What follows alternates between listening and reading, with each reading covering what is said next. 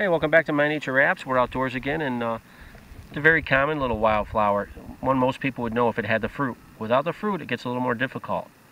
But uh, this is called wild strawberry.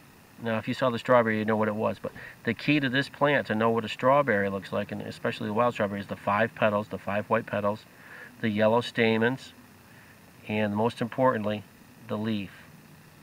Leaves that are compound, they're basal, hairy stemmed, and they're uh, compound with three leaflets. And the leaflet is partially toothed, if you can see that. Smooth margin on the bottom, and then it starts to become toothed with uh, dull to sharp teeth. Uh, it's a very pretty little wildflower, but without the strawberry, not as easy to recognize. So just remember, leaflets in threes. The leaves are always basal. Uh, five white petals with yellow stamens.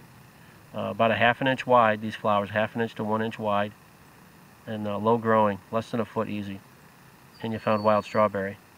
Thanks for joining us. Find us on the web, mynatureapps.com. Have a great day in the woods.